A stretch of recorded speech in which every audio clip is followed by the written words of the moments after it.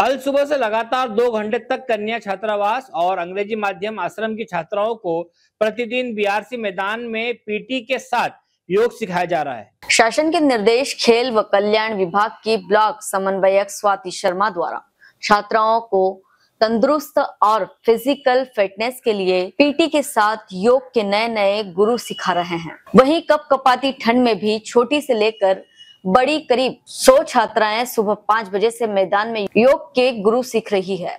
सेगांव से संजय जायसवाल की रिपोर्ट। ये आप प्रतिदिन स्वास्थ्य को लेकर जो योगा करवाते हैं इसको लेकर क्या कहना चाहेंगे? ये मैं डेली बच्चों को स्वास्थ्य के लिए करवा रही हूँ कि बच्चा फ़िज़िकल फिटनेस रहे इसमें हमारा डेली स्ट्रेचिंग वगैरह होता है वार्म अप के बाद हम लोग पीटी का अभ्यास अभी चल रहा है रेगुलर हमारा। क्या नाम लिखते हैं स्वाति शर्मा। कौन से विभाग में कार्य होता हैं? खेल एवं युवा कल्याण विभाग में block coordinator Segaon. Hello friends आप देख रहे हैं हमारा channel S W twenty four news हमारे सारे वीडियो सबसे पहले देखने के लिए आप हमारे चैनल को सब्सक्राइब करें और पास में लगे बेल आइकोन को दबाना बिल्कुल भी ना भूलें।